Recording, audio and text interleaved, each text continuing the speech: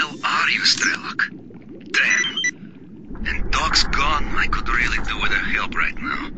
When I get back from the mission, I'm gonna find the guide at the perimeter. He goes there a lot. And he may help me find Doc. And if Strelok's still alive, Doc will know for sure where to find him. Anyway, that's for later. And now I'm all alone. On this stinking underground mission. Vasiliev doesn't count. He's just a burden which I'll have to protect.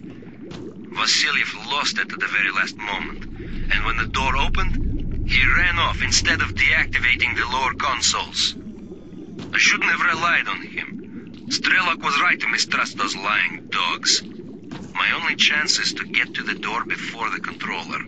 Vasiliev lost it at the very last moment, and when the door opened, he ran off instead of deactivating the lower consoles. I shouldn't have relied on him. Strelok was right to mistrust those lying dogs. My only chance is to get to the door before the controller.